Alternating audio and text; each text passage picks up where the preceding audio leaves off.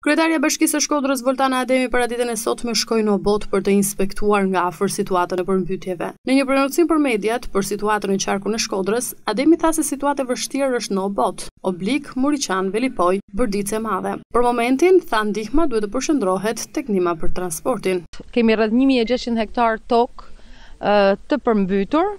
Hidrometri në Urela, në Dajç, në Shirq, shënon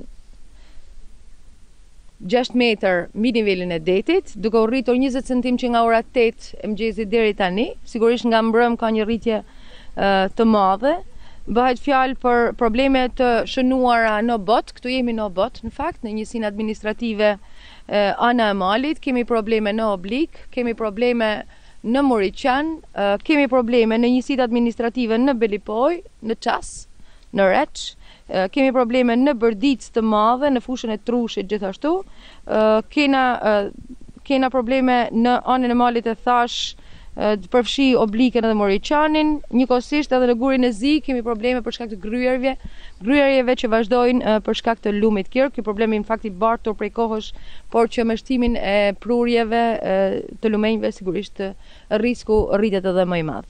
Sipas të dhënave nga Shtabi i Emergjencave, janë mbi një mijë e katërqind hektarë tokë nën ujë. Ademi ka kërkuar ndihmën e ushtrisë.